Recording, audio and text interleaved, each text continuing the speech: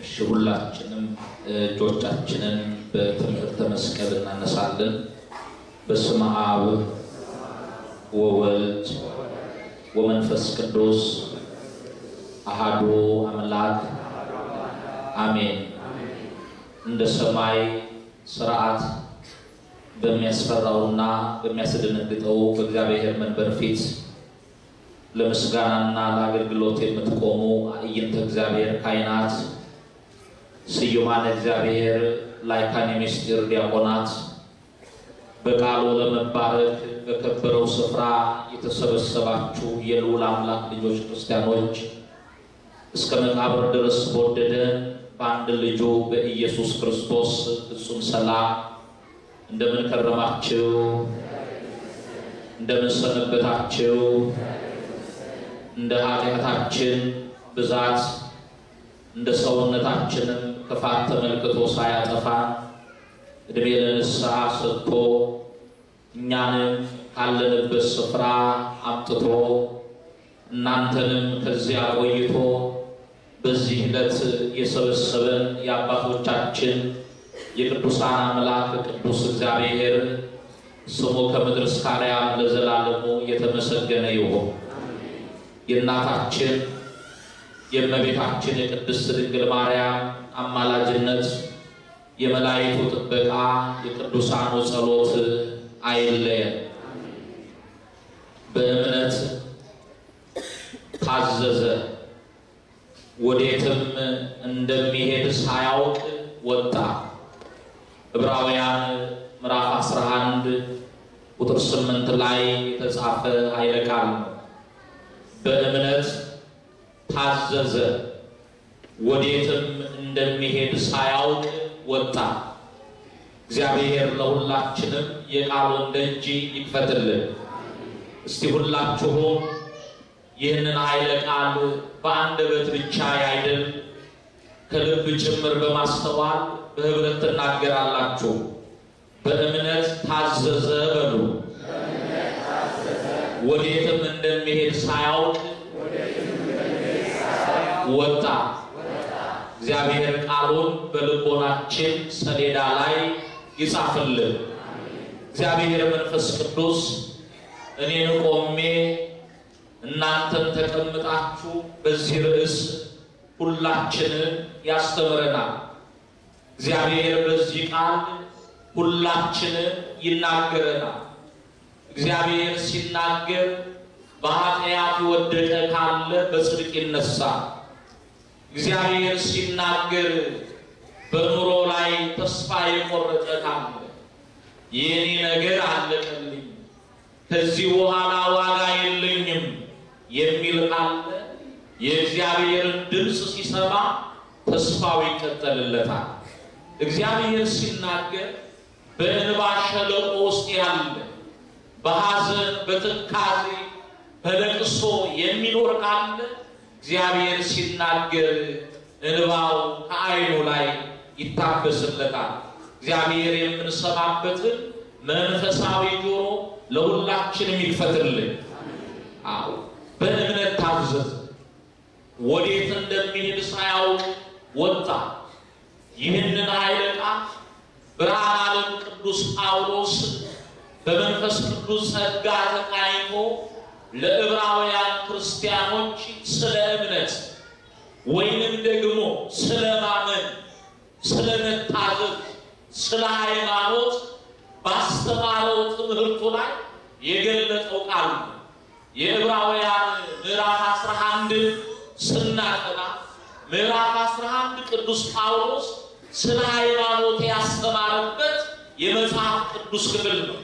ስለ ሃይማኖት ደግሞ ሲያስተምር ምሳሌ ያደረገው ከዚህ በፊት በሃይማኖት የጸኑትን በሃይማኖት የቀደሙትን ለእግዚአብሔር የታዘዙትን ለእግዚአብሔር የታመኑትን ምሳሌ እያደረገ አብነት እያደረገ አስተምሯል። ማን ነገሩኝ? ማን? ቅዱስ ጳውሎስ። እጠይቃለሁ፣ መልስ ትሰጡኛላችሁ። ስለ ሃይማኖት ምሳሌ አድርጎ አስተምሯል። ዛሬ ቅድስት ቤተ ክርስቲያናችን የቅዱሳኑን ሕይወት የጻድቃኑን ሕይወት የሰማዕታቱን ሕይወት አብነት አድርጋ ምሳሌ አድርጋ ስታስተምር የማይዋጥላቸው ብዙ ሰዎች አሉ። ቤታችሁ ስትገቡ ዕብራውያን ምዕራፍ አስራ አንድን ተመልከቱ። በዚያ የመጽሐፍ ቅዱስ ክፍል ላይ እምነት የማይታየውን ነገር እንደምናይ አድርገን የምናስረዳበት ነው ብሎ ስለ እምነት ይናገርና ከአቤል ጀምሮ ቅዱሳንን ይጠራል። ከማን ጀምሮ? ከአቤል ጀምሮ አቤል ምን አይነት ሕይወት እንደነበረው ለእግዚአብሔር ያቀረበው መስዋዕት ምን አይነት መስዋዕት እንደነበር ከአቤል እየጠቀሰ ብዙዎችን እያነሳ አብርሃም ጋር ይደርሳል። አብርሃም ሲደርስ ቅዱስ ጳውሎስ እንዲህ ዕብራውያን ምዕራፍ 8 ቁጥር 11 ላይ አብርሃም የተባለውን ርስት አድርጎ ሊቀበል ወዳለው ስፍራ ለመውጣት በእምነት ታዘዘ አለ። የመጨረሻውን ቃል ንገሩኝ። በምን ታዘዘ? አሁን ነጠላ አፋችሁ ላይ ያደረጋችሁ በራሳችሁ ላይ እንዳለ ከአፋችሁ ላይ ወረዳል። አሁን የእግዚአብሔርን ቃል እንናገራለን። እግዚአብሔር ከሁላችን ጋር አይሆን። አብርሃም በምን ታዘዘ? በእምነት ታዘዘ። ወዴት እንደሚሄድ አቅጣጫ መጠቆሚያ ሳይኖር የት እንደሚሄድ ሳያውቅ ወጣ አብርሃም በእምነት ታዘዘ። መቼ ነው አብርሃም የታዘዘው? መታዘዙን ለማየት ወደ ኋላ ሄደን የአብርሃምን ሕይወት ለማየት እንገደዳለን። አብርሃም በከለዳውያን በኡር መንደር የሚኖር እግዚአብሔር በማይታወቅበት ኃጢአት በነገሰበት በደል ባለበት ጣዖት በሚመለክበት ሀገር ውስጥ የሚኖር የጣዖት አምላኪ ልጅ ነበር። ማን? አብርሃም። አባቱ ታራ ጣዖት አምላኪ ብቻ አይደለም። ጣዖት ለሚያመልኩ ሰዎች ጣዖትን እየቀረበ እየሰራ ገበያ እያወጣ የሚሸጥ ነው። አብርሃምም ለአባቱ ታዞ የሚያመልከውን ጣዖት ወይም የሚያመልከውን አምላክ ገበያ አውጥቶ ሊሸጥ ወደ ገበያ ሄደ። አብርሃም ያንን ጣዖት ተሸክሞ በገበያ ውስጥ እየዞረ የሚገዛው ይፈልግ ነበር። ሁልጊዜ በሕይወት ውስጥ ስኬት የለም። የዛን ቀን አብርሃም አልተሳካለትም። የያዘውን አምላክ ሊሸጠው አልቻለም። የሚገዛው አጣ። አብርሃም የሚገዛው ባጣ ጊዜ ቀኑን ሙሉ ሲዞር ስለዋለ ርቦታል። ቀኑን ሙሉ ሲዞር ስለዋለ ጠምቶታል። ከዛ በኋላ አንተ አምላኬ ሆይ አብላኛልና ጣዖቱን አነጋገረ። አላችሁ በቃሉ ማንን አነጋገረ? ጣዖቱን አነጋገረ። አብላኛ ነው ጠራው። አጠጣኛ ለአብርሃም ጣዖቱ እንኳን ሊያበላ እንኳን ሊያጠጣው መልስ ሊመልስለት አልቻለም። ከዚያ በኋላ አብርሃም የያዘውን አምላክ ማዋረድ ጀመረ። ምን አለ? ዓይን እያለው የማያይ ጆሮ እያለው የማይሰማ አምላክ የሚገዛ ብሎ መጮ ጀመረ። እንኳን አራክሶ እንኳን አቅልሎ አዋርዶ ይቅርና አክብሮትም እንኳን የሚገዛው ምን አላለ? አቤት አላገኘም። አሁን ማዋረድ ጀመረ። ዓይን እያለው የማያይ ጆሮ እያለው የማይሰማ አምላክ አለ። አሁን አብርሃምን ስናስበው የማይናገር አምላክ አምላኩ አድርጎ መኖሩን አሁን ልብ በእርግጠኝነት የአብርሃምን ሞኝነት ያስብ ይሆናል። እውነት አስብ። ዝም አላችሁ? ሞኝነት አይደል እንዴ? ጆሮ እያለው የማይሰማ ዓይን እያለው የማያይ አምላክ ማለት ሞኝነት አይደል? አዎ የእኛ ወገኖች እኮ ብዙ ዘመን ሞኞች ሆነው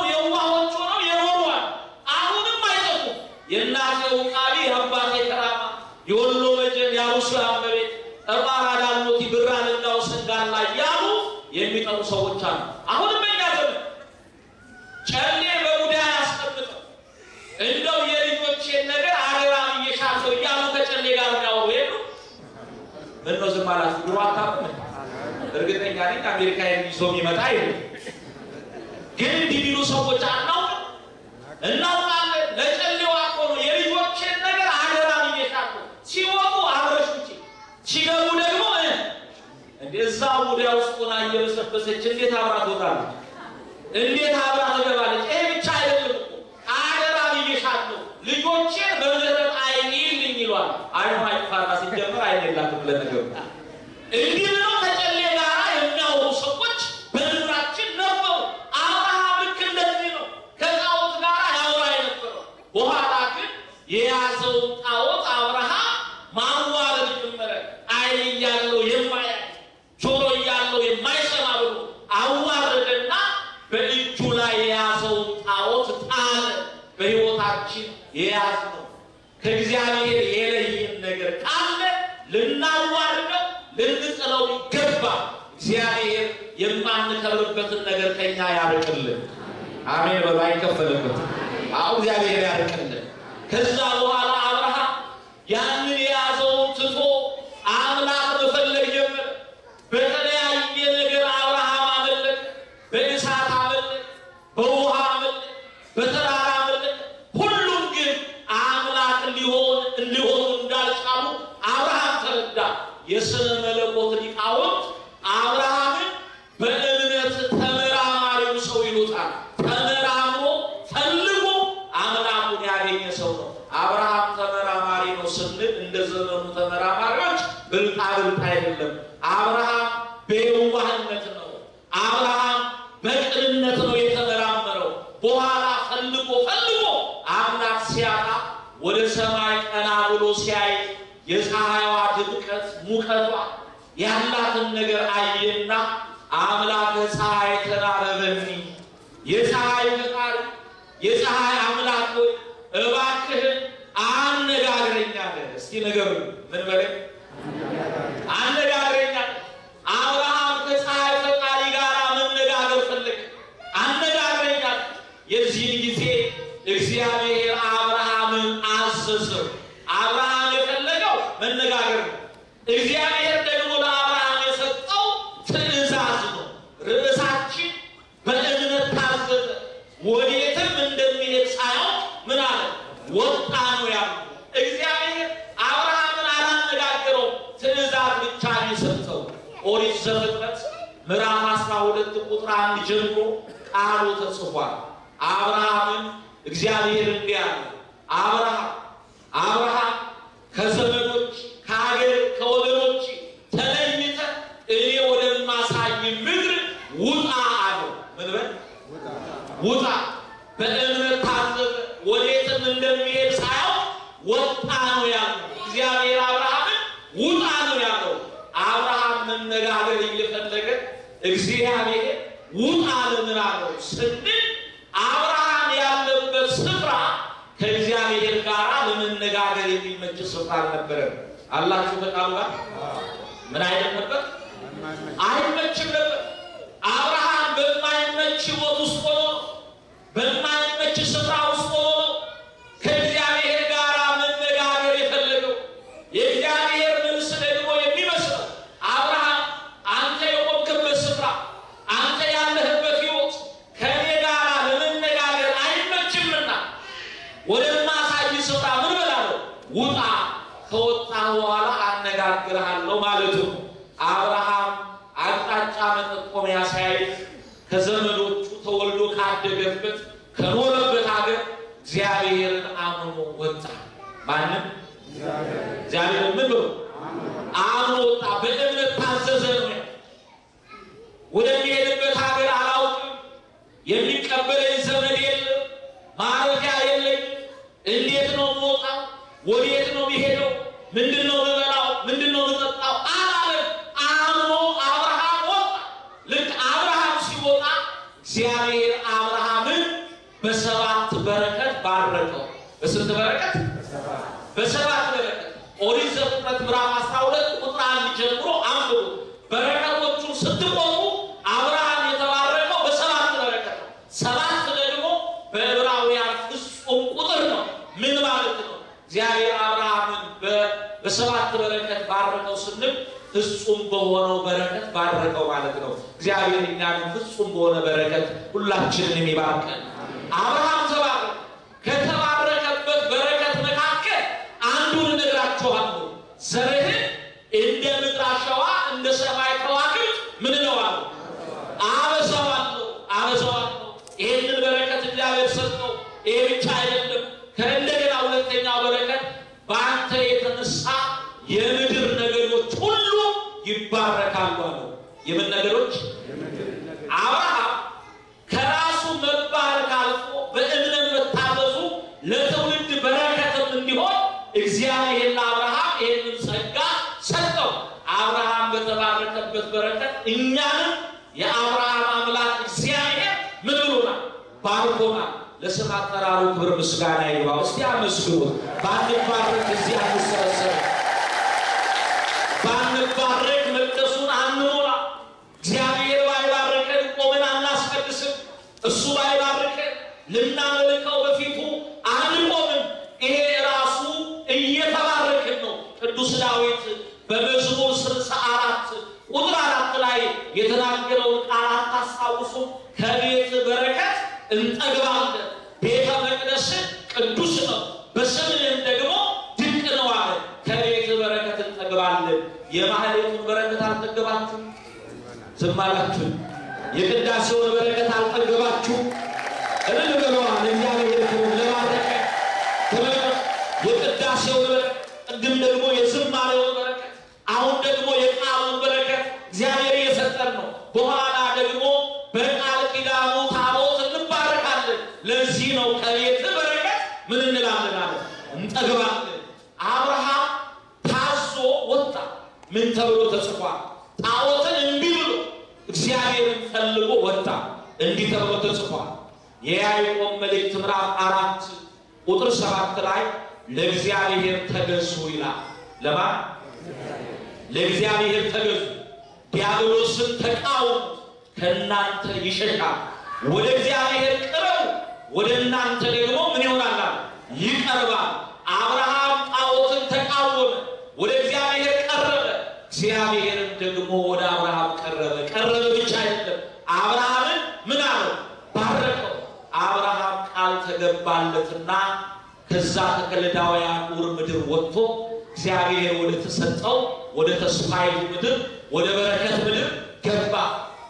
ከካራን ወጣ፣ ከነአን ገባ። ከነአን ከገባ በኋላ እግዚአብሔር የሰጠውን ተስፋ እየጠበቀ ብዙ ዓመት ቆየ። አላችሁ ጋር ስንት ዓመት? ብዙ ዓመት። ዓመቱን እንቆጥራለን። አብርሃም ሲወጣ የሰባ አምስት ዓመት ሰው ነው። በሰባ አምስት ዓመቱ ነው ከሀገሩ የወጣው። ዘርህን አበዛለሁ ብሎ እግዚአብሔር ቃል ገብቶለት የገባው ቃል ሳይፈጸም አብርሃም መቶ ዓመት ሞላው። ስንት ዓመት ጠበቅ? ነገሩኝ። ስንት ዓመት? ሀያ አምስት ዓመት። ይሄ ሀያ አምስት ዓመት እኛም የተለማመር ነው አይደለም? እኛም የተለማመር ነው ዓመት ነው። በምን ተለማመር ነው? በኋላ መጣበታል። ስንት ዓመት ጠበቅ አብርሃም? ሀያ አምስት ዓመት ዘርህን እንደ ምድር አሸዋ እንደ ሰማይ ከዋክብት አበዛልሃለሁ ብሎት አብርሃም ቢጠብቅ ቢጠብቅ ሳራ አትወልድም። ዘጠና ዓመት ሞላ፣ እሱ መቶ ዓመት ሞላ። አብርሃም ተስፋ ቆረጠ። የእግዚአብሔር ልጆች እኛ ስንጨርስ ነው እግዚአብሔር ስራ የሚጀምረው። የሰማችሁ ነው። እኛ ምን ስንል ስንጨርስ እግዚአብሔር ምን ይጀምራል? በቃ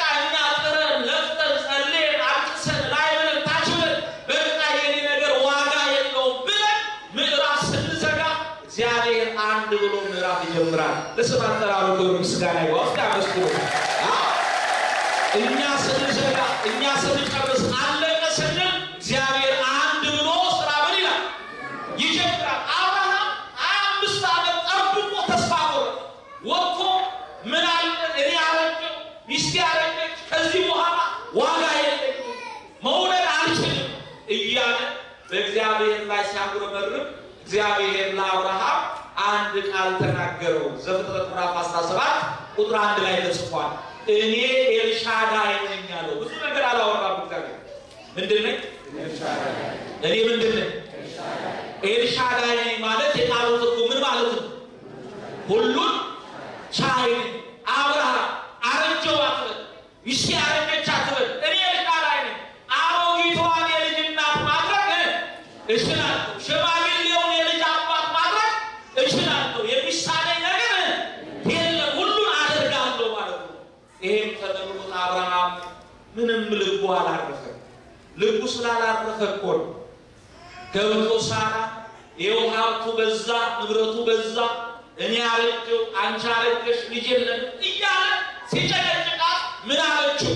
ሂድና ከአጋር ውለድና ሀብትህን የሚወርስ ዘር ተካ ሳራ ደግ ናት አይደል? ምን ነው እናቶች ዝም አላችሁ? ሳራ ምንድን ናት? ደግ ናት። ሂድና ወልደህ ምን በል አለችው። ና አለችው። የዋህ ናት። አሁን እንደው እንዲህ እንድትፈቅዱ ማለት አይደለም። በደንባራ በቅሎ ቃጭል ተጨምሮ ይላል ያገሬ ሰው። እንኳን ፍቃድ ተሰጥቶ ሳይሰጠውም የሚሄድ ብዙ ይኖራል። እግዚአብሔር እንዲህ ካለ ሁላችንን ይጠብቀን። አብርሃም ልቡ የሚያልፍ መስሎ አያችሁ። አብርሃም እግዚአብሔር ቃሉን የሚያቅፍ መስሎ እግዚአብሔር የዘገየ መስሎ እግዚአብሔር የማይመጣ መስሎት አብርሃም ሌላ አቋራጭ መንገድ ሌላ አማራጭ ፈለገ። እኛም እንዲኮነ ይሆን ነው። በሀገራችን በኢትዮጵያ ጉዳይ ማን ነው ተስፋ ያልቆረጠ? ማን ነው ልቡ ያላዘነ? የኢትዮጵያ ነገር እኮ ከዚህ በኋላ ዋጋ የለውም። አበቃንን ነበር የዛሬ አራት ዝም አላችሁ። የዛሬ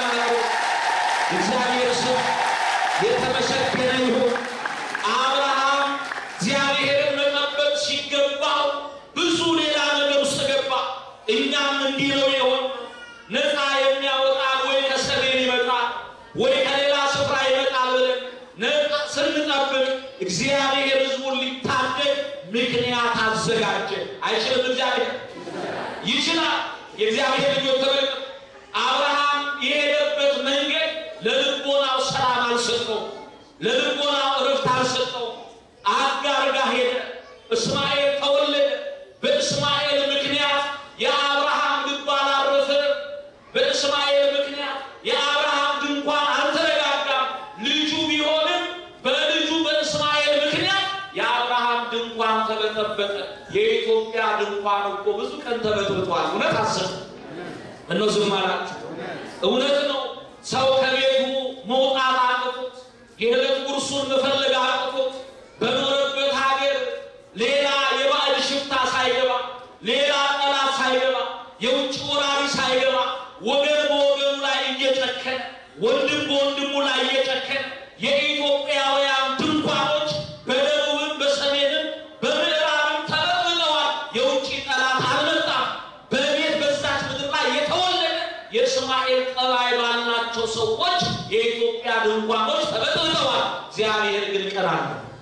ምን አለው እግዚአብሔር? ቀን አለው እግዚአብሔር። የአብርሃም ድንኳን ተበጠበጠ። አጋር ልጅ በመውለዷ ሳራ እናጠቻት።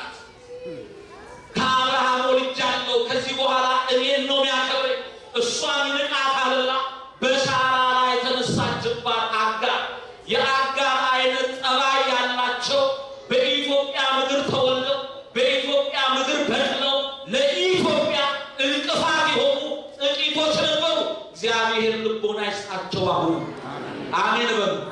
እግዚአብሔር ልቦና ይስጣቸው።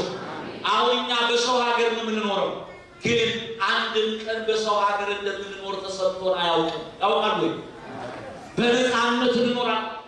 ዛሬ እዚህ ስቴት መኖር አልፈልግም ብለን ነገ ተነስተን ሌላ ስቴት ሄደን ኑሮን ጀምር ብንል የሚከለክለን የለም። አለ? የለም። ኢትዮጵያውያን ወገናቸው ግን በርስታቸው ላይ በምድራቸው ላይ ባዕድ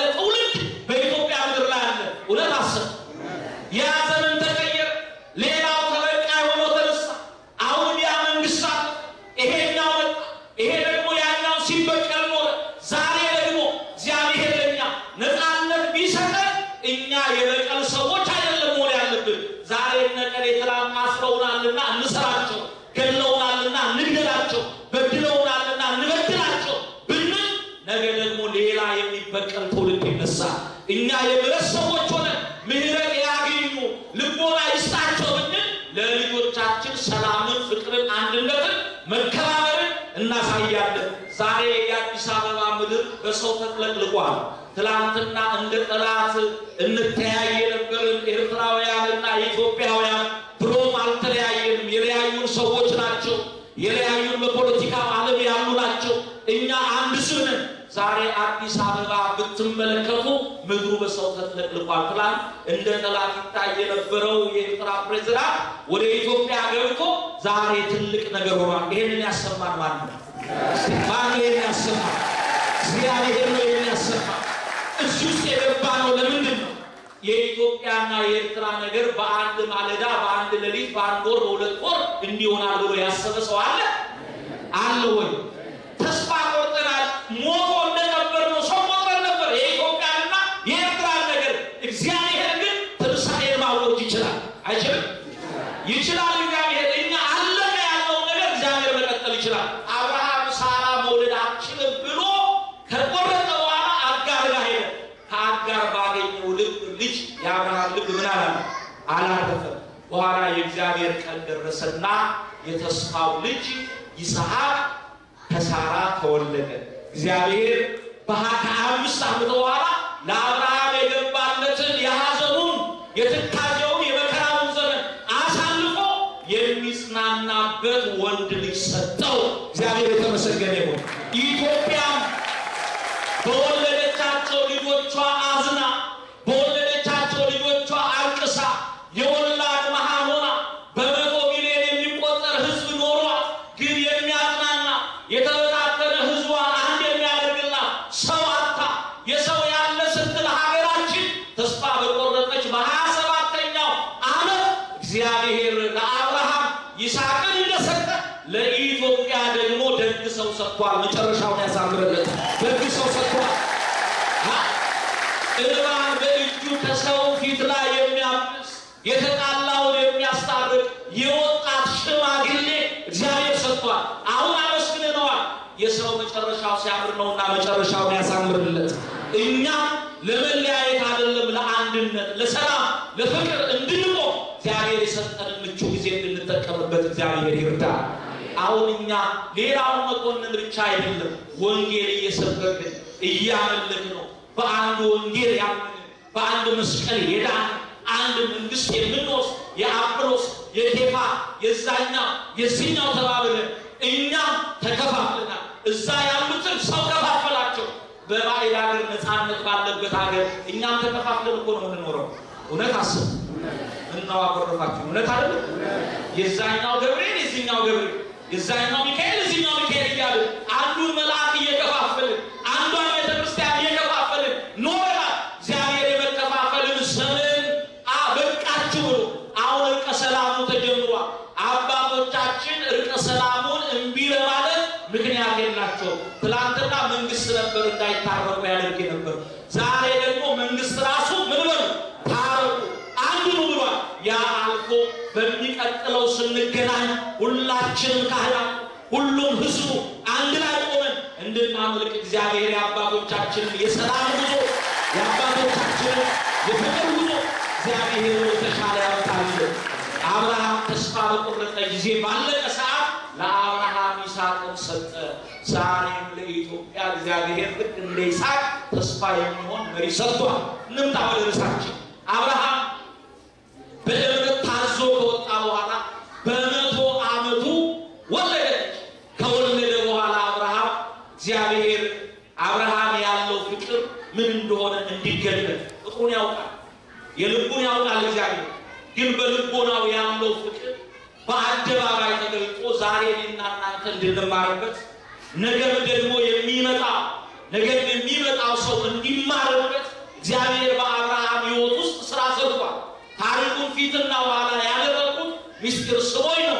የዛሬውን በዓል የምናከብርበት ዋናው ምክንያት አብርሃም እንግዳ ተቀባይ ምንድን ነው እንግዳ ነገሩ? ምንድን ነው እንግዳ ተቀባይ እንደ ዛሬ ያደርገውና ኢትዮጵያውያንም የአብርሃም ልጆች ነበርን በምግባር ትላንት ኢትዮጵያውያን እንግዳ ወደ ቤታቸው ሲመጣ እንግዳ ምን የሚሉ ናቸው?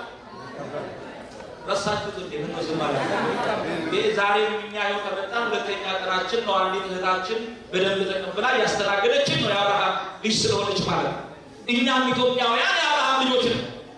እንኳን እንግዳ ወደ ቤታቸው መጥቶ ኢትዮጵያውያን ወገኖቻችን እንኳን እንግዳ መጥቶ ቤት ውስጥ ማር ቤት ውስጥ ሆነው እንጀራ እየጋገሩ መንገደኛው በባል ሀገር በደጅ ሲያል ቤቱ የማን ቤት እንደሆነ እንኳን አያውቅም። ሩቅ መንገድ ነው። በጎጆ ውስጥ ጭስ ሲወጣ በሩ ክፍት መሆኑን ያላል። ቤቱ ቁጭ እያለ ይሄዳል። ባድ ቤት ያለችውም እናት ማን እንደሆነ አታውቅም። አቤት ትላለች። ቄው ሰላም ነው ወይ?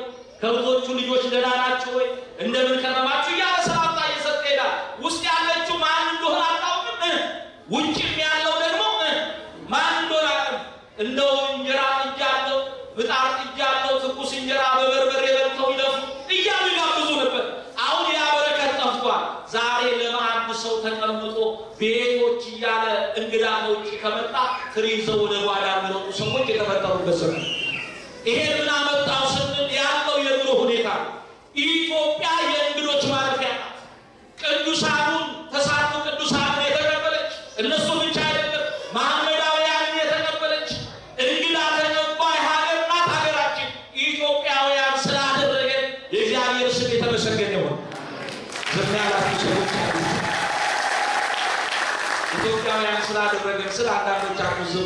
ፓስፖርት አላችሁ መሰለኝ።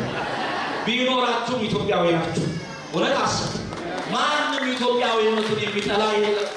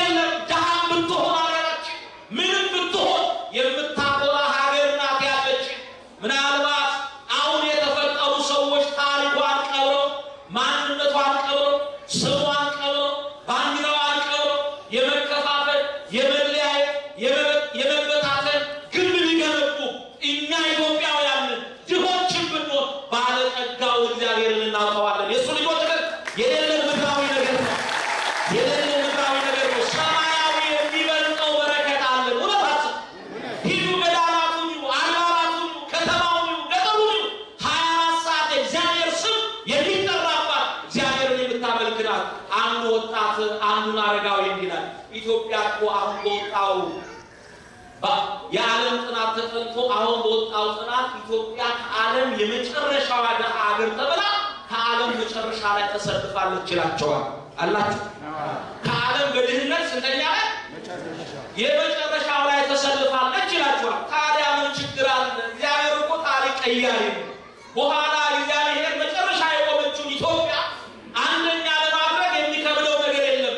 ቀኟላ ዙር ካለ ኢትዮጵያ ዞራ አንደኛ ትሆናለች አሉ ይባላል። አዎ ትሆናለች፣ ትሆናለች። በርኩሰት ከሚገኝ በኃጢአት ከሚገኝ ባለጠግነት ሃይማኖት ይዘን የምናገኘው ቅድስና የምናገኘው ድህነት ይሻላል።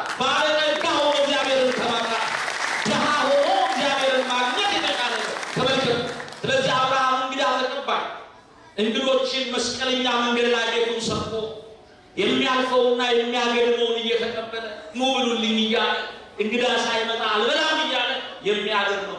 በአብርሃም ሕይወት ሰይጣን ቀና። ማን ቀና? ማን ቀና? በኢትዮጵያ እኮ የሚቀኑ ኃያላን አሉ። ሰላም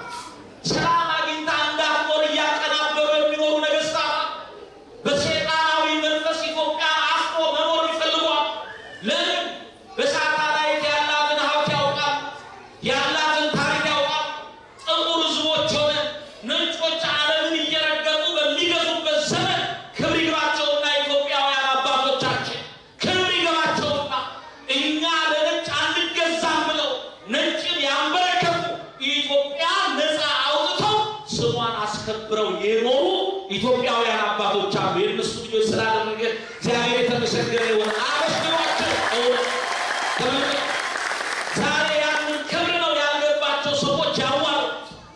አብርሃምን ሰይጣን ቀናበት። ዛሬም በኢትዮጵያውያን ላይ ነጮቹ ይቀናሉ፣ ሌሎቹም ይቀናሉ። የሚቀናብን ብዙ ነገር አለን። ችግሩ ያለንን ያህል ያለንን ክብርኛ አናውቅም፣ ያለንን ጸጋ አናውቅም። ለማንነታችን ያለን አመለካከት ትንሽ ነው፣ ግን እግዚአብሔር ትልቅ ሕዝብ አድርጎ ነው የፈጠረ። የመጽሐፍ ቅዱስን ግለጡና አንብቡ እንጂ ገና እኮ የመጀመሪያውን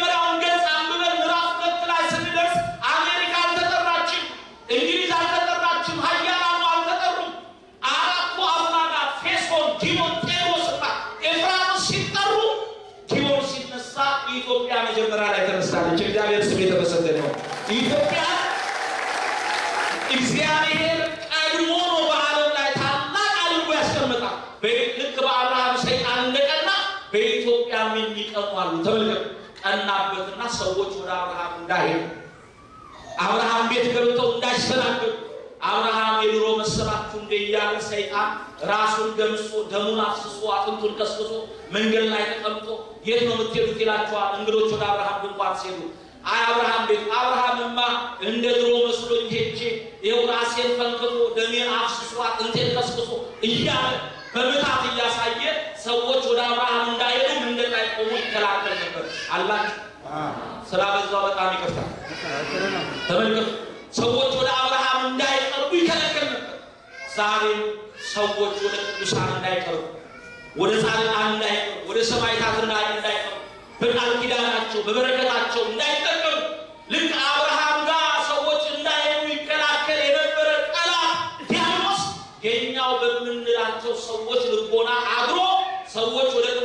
ቃል ኪዳን ወደ ቅዱሳን በረከት እንዳይቀርቡ መንገድ ላይ ሆኖ ይከላከላል። እግዚአብሔር ይሰርልን።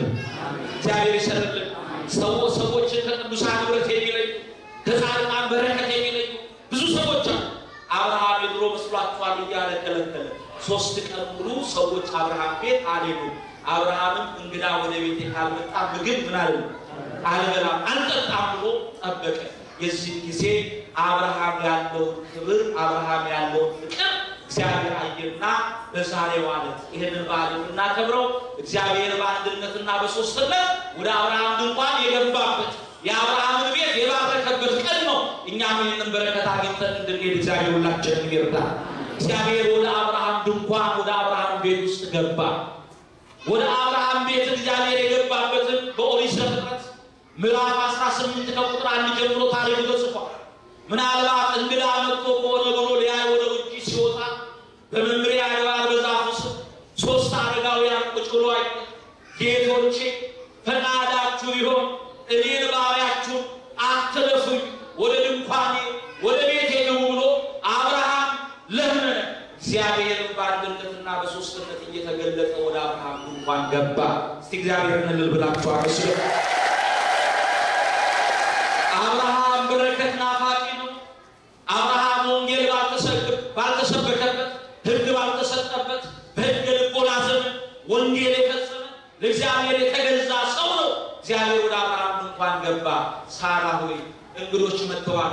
ሶስት መስፈሪያ ዱቄት ሰፍረሽ ሶስት እንጎቻ አንጉቺ፣ እኔ ደግሞ እግር አጥቤ ወይፈን አወራርዳለሁ አለ።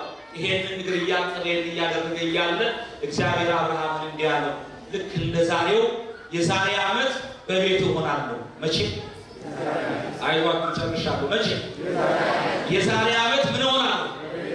በቤት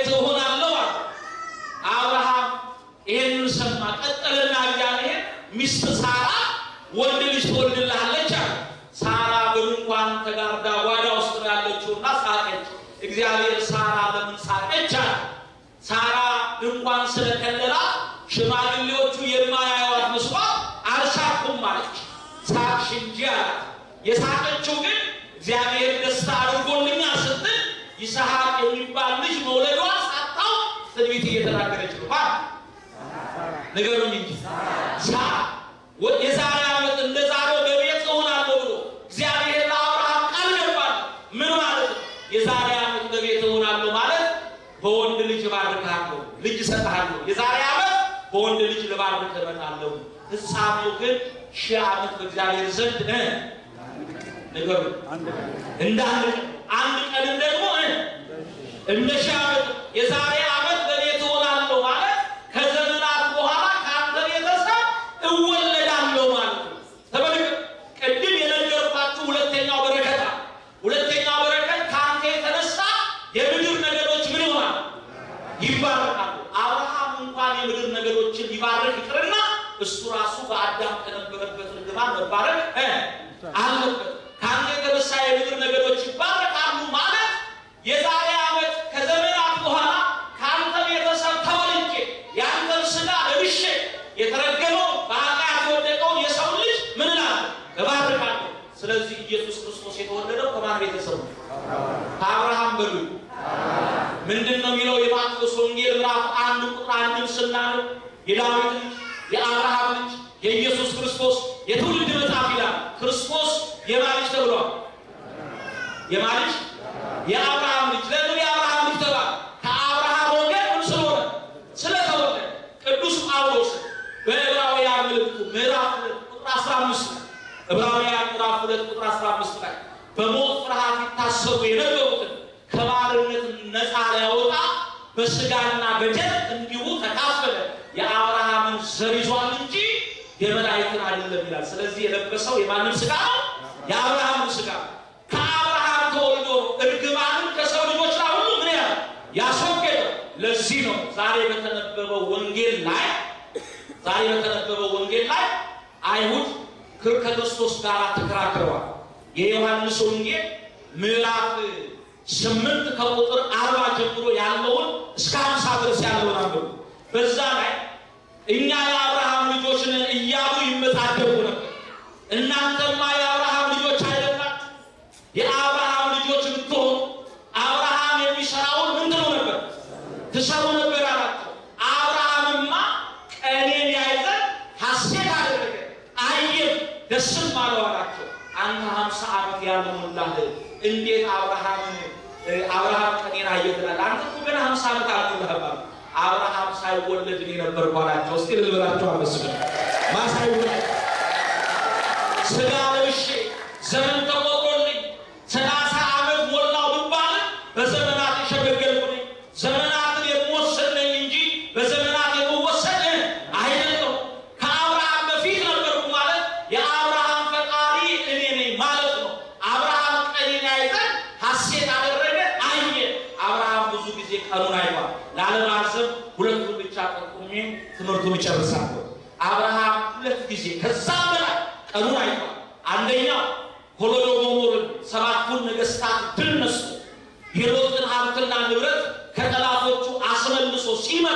በኦሪት ዘፍጥረት ምዕራፍ 12 ምዕራፍ 14 ቁጥር 18 ጀምሮ እንደተጻፈ የገባውን ቃል ኪዳን ለመፈጸም ዮርዳኖስን ተሻግሮ በሴዊ ሸለቆ መካከል ያለውን መልከ ጼዴቅን አግኝቶታል። ማን? አብርሃም። ታሪኩን አውቄን ያሳንተ አብርሃም መልከ ጼዴቅን አግኝቷል። መልከ ጼዴቅ የክርስቶስ ምሳሌ ነው። ለአብርሃም አብርሃም ከመልከ ጼዴቅ ተባረከ። አስራቱን ለአብርሃም አብርሃም ለመልከ ጼዴቅ ሰጠ። አብርሃም ደግሞ በመሶብ የነበረውን ህብስቱን በጽዋ የነበረውን ወይኑን ሰጠ። የአዲስ ኪዳን ሊቃውንት ምን ይላሉ? ወንጌል በመልከ ጼዴቅ ዘመን ተገልጣ ተሰውራለች ይችላሉ። በማዘመን በመልከ ጼዴቅ ዘመን ተገልጣ ተሰውራለች። መልከ ጼዴቅ አብርሃምን ባርኮ የሰጠው ህብስት ነው፣ የሰጠው ወይን ነው። ያ ህብስትና ያ ወይን ደግሞ ክርስቶስ በቀራንዮ የሚቆርሰው ስጋ የሚያፈሰው የደሙ ምሳሌ መልከ የክርስቶስ ምሳሌ ነው። ስለዚህ አብርሃም በዚያ ቀን ክርስቶስን ምን ብሎታል? አቤት አይቶታል። በርቀት በትንቢት መነጽር አይቶታል። ሌላው ደግሞ ፍቅሩን ለመለካ አብርሃም ትወደኛለህ፣ እወድሃለሁ፣ አንድ ልጅህን መስዋዕት አድርገህ ምን በል አቅርብልኝ አለ። ዘፍጥረት ምዕራፍ 21 እና ምዕራፍ 22 አብሩት። ዘፍጥረት ምዕራፍ 21 እና ምዕራፍ 22 ልጁን ሊሰዋ አብርሃም ወደ ተራራ ይዞ ወጥቷል። አንድ ነገር ልጠይቃችሁ፣ ዘር ይበዛልሃል የተባለው በማን ነው? ተኛችሁ ደህና ደርበብኝ እኔ ማበዛውባችሁ ዘር ይቀርልሃል የተባለው በማን? ዘር ይቀርልሃል የተባለው በይስሐቅ። አሁን ደግሞ ሰዋ የተባለው ማንም ይስሐቅ ነው። የትምህርታችን ርዕስ ምንድን ነው? በእምነት ምና ታዘዝ። ከከለዳውያን ለመው ከሙር ምድር ለመውጣት ብቻ አይደለም። መስዋዕት ለማቅረብም አብርሃም በእምነት ነው የታዘዘው። ምን ነው አምላኬ በመቶ ዓመቴ የወለድኩት ሳራ በዘጠና የወለደችው ብዙ በጎችን ልጠይቀኝ ብዙ ጊደሮች ልጠይቀኝ ሲገባ እንዴት አንድ ልጅ ስጠኝ ብለህ ትጠይቀኛለህ? እኛ ብንሆን እግዚአብሔር የምንነካው አይን የለውም እንዴ እንላለን። ለእኛ የፈጥሮልን ነው አይደል? ሰዋ ሲባል ከሞት አስነስቶ እንኳን የገባውን ቃል ኪዳን እንደሚፈጽምለት ስላመነ ከምን አስነስቶ ከሞት አስነስቶ የገባውን ኪዳን እንደሚፈጽምለት አምኖ ልጁን ሊሰዋ ወደ ተራራ ይዞ ወጣ። ልጁ ይስሐቅ እንጨት ተሸክሟል። ሁለት ሎሌዎች በግራና በቀኙ ነበሩ። ከእግረ ደብር ደረሱ። እኔና ልጄ መስዋዕት ሰውተን እንመጣለን፣ እናንተ እዚህ ቆዩ አላቸው። ሎሌዎቹ ቆዩ። ተራራ ላይ ሲወጣ አባቴ መሰዊያው ተይዟል፣ ካራውን ይዘሃል፣ እንጨቱን ይዘሃል፣ የታለ የመስዋዕቱ በግ አለ። የመስዋዕቱን በግ እግዚአብሔር ያዘጋጃል። እስኪ እግዚአብሔር ያዘጋጃል ብሎ በሕይወታችሁ የምትፈልጉት ነገር ይኖር ይሆናል። እግዚአብሔር ያዘጋጃል ብሎ በሕይወታችሁ ያጣችሁት ነገር ይኖር ይሆናል። እግዚአብሔር ያዘጋጃል ብሎ እግዚአብሔር ምን ይላል? አጥቻለሁ፣ ተቸግሬያለሁ፣ ጎሎብኛል የምትሉትን ነገር እግዚአብሔር ያዘጋጃል በሉ። ጎሎሎ ሲሞላ ታያላችሁ። እግዚአብሔር ያዘጋጃል በሉ። ያጣችሁትን ስታገኙ ታያላችሁ። እግዚአብሔር ያዘጋጃል በሉ። እግዚአብሔር ሁሉን ማድረግ እ ይችላል። የመስዋዕቱን በግ እግዚአብሔር ያዘጋጃል አለ። ወጣና እንጨቱን ረበረበ። ለጊዜው ይስሐቅ የኢየሱስ ክርስቶስ ምሳሌ፣ አብርሃም የአብ ምሳሌ። አብርሃም የሚወደውን አንዱን ልጁን ነው መስዋዕት አድርጎ ሊያቀርብ ያወጣው። እግዚአብሔር አብን አንድያ ልጁን እኛን ስለወደደን ለመስቀል ሞት አሳልፎ ሰጥቷል። እስቲ አክብሮት ብላችሁ አመስግኑ። በእውነት ይስሐቅ የሚሰዋበትን እንጨት ነው የተሸከመው። ኢየሱስ ክርስቶስ የእኛን ኃጢአት ለማስወገድ መስቀል ነው ተሸክሞ ወደ ተራራ የወጣው። ተራራው ላይ ሲደርስ ይስሐቅ አዳም ሆኗል። አብርሃም ልጁን ሊሰዋ ካራ ነሳ። ጨርሻለሁ ጨርሻለሁ እያልኩ እንዳረዘምኩባችሁ ይገባኛል። አንድ ቦታ አስተምራለሁና ይሄንን አይተን ትምህርቱን እንጠቀልለዋለን እያልኩኝ ለካ ሚስጥር እየሳበኝ ልክ እንደ ወደፊት እየገፋ ሄዱ። አንድ አባት ስራ ሊገቡ ቸኩለዋል እና ትምህርቱን ወደውታል። እንደው አሁን ሊጨርሱ ነው እያሉ ሲቆዩ እያሉ ሲቆዩ ለካ የስራው ሰዓት ምን ብሏል አልፏል። ሄደው በማግስቱ ጉባኤ መጡና የትላንቱ ትምህርት ጥሩ ነበር እጠቀልለዋለሁ እያሉ ሲፈቱ እጠቀልለዋለሁ እያሉ ሲፈቱ እኔም ስራ ረፍዶብኝ አርፍጄም የገባሁታል። ስለዚህ ዛሬም እንደዛ እንዳደረግኩ ይገባኛል። ግን ሚስጥር ስቦኝ ነው። እግዚአብሔር ከሁላችን ጋር ይሆን። እግዚአብሔር ከሁላችን ጋር ተራራው ላይ ይስሐቅ አዳምን ይሆናል። ለምን አባቱ ሊሰዋው ካራውን አነሳ። አባቴ ሆይ ምትሰዋኝ ከሆነ ድፋና በማጅራቴ ሰዋኝ፣ በአንገቴ ብትሰዋኝ አይን አይኔን እያየህ አዝነህልኝ ትተኸኝ ከአምላክ ምን ትላለህ? ትጣላለህ። ከእሱ እንዳትጣላ እኔን ስም ደፍተህ ሰዋኛለህ። ምንድን ነው ሚስጥሩ? ዛሬ ልጆቻችን አይደለም ለመስዋዕትነት ለቃላችን ይታዘዛሉ ወይ? እሺ የሚሉ ልጆች አሉ ወይ? የሉንም። ለምንድን ነው ልጆቻችን እሺ የማይሉ? እኔና እናንተ እግዚአብሔር ይሻላል ነው። በሕይወታችን እግዚአብሔር ያዘዘ ብዙ ነገር አድርጉ ያለ ብዙ ነገር እግዚአብሔር አባታችን እንደሆነ እናምናለን፣ እንስማማለን። እውነት አሰብ እሱ ትእዛዝ አዞናል። እኛ ለእግዚአብሔር ቃል ምን አላሉ? አልታዘዝንም በሉኝ። የታዘዛችሁ እንኳን ብትኖሩ አልታዘዝንም። እኛ አባታችን ወይ እያልን እየጠራ ነው እየጸለይን ለእሱ አልታዘዝም። እኛ ለአባታችን ለእግዚአብሔር ስላልታዘዝን ልጆችም ለእኛ ምን አላሉ? አልታዘዝም አሉ። ይሄ ነው ሚስጥሩ። በቃ ሌላ ይስሐቅ ለአብርሃም የታዘዘው አብርሃም ለማን ታዛዥ ነበር? ወዴት እንደሚሄድ ሳያውቅ በእምነት ታዞ ወጣ ነው ያለው። መታዘዝ ነው በእርሱ ውስጥ ያለው። ታዞ ነው የወጣ አብርሃም። አሁን ልጁ ታዘዘው። የዚህም ጊዜ ልጁን ሊሰዋ ካራው ሲያነሳ አብርሃም አብርሃም ለእኔ ያለህን ፍቅር አይቻለሁ፣ ብሎ በዕፀ ሳቤቅ በሐረግ ገመድ የታሰረ ነጭ በግ ሰጠው።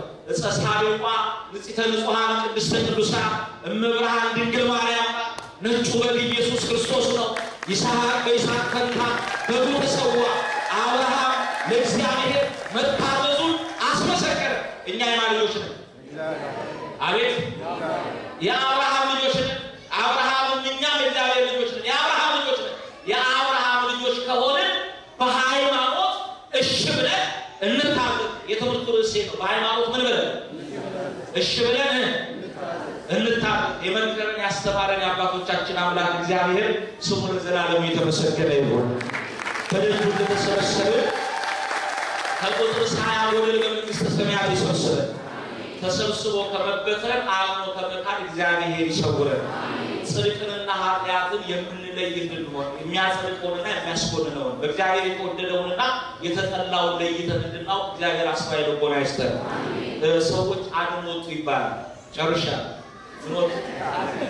አቤት አድን ወጡ ሊያድኑ ሲወጡ አንዲት አይጥ ከጫካ ውስጥ ልቧ እስከሚፈርስ እየሮጠች በድንጋጤ ስትሄድ መንገድ ላይ አንበሳ አገኛት። ምን ሆነሽ ነው እንደዚህ በድንጋጤ የምትሮጪው? ይላል። አይ ሰዎች አደን ወጥተው ነው እና ምን ሊያድኑ ወጡ? ዝሆን ሊያድኑ ወጥተዋል። እንዴ ታዲያ እነሱ ዝሆን ሊያድኑ ከወጡ አንቺ አይጥ ምን ቤት ነው እንደዚህ የሚያሮጥሽ? ይላታል። አይ ሰዎቹ አይለዩም ማለች። አዳኞቹ ምን አይሉ አይለዩም። አሁን እንደው ዝሆንና አይጥ አይለዩም። ሰዎቹ አይለዩም። የእግዚአብሔር ልጆች ልንለይ ይገባል። ኃጢአትንና ጽድቅን እግዚአብሔር የሚጠላውንና የሚወደውን ለይተን እንድንኖር እግዚአብሔር ይርዳል። ወስብሐት ለእግዚአብሔር። አሜን። አብሮ ያሰማን።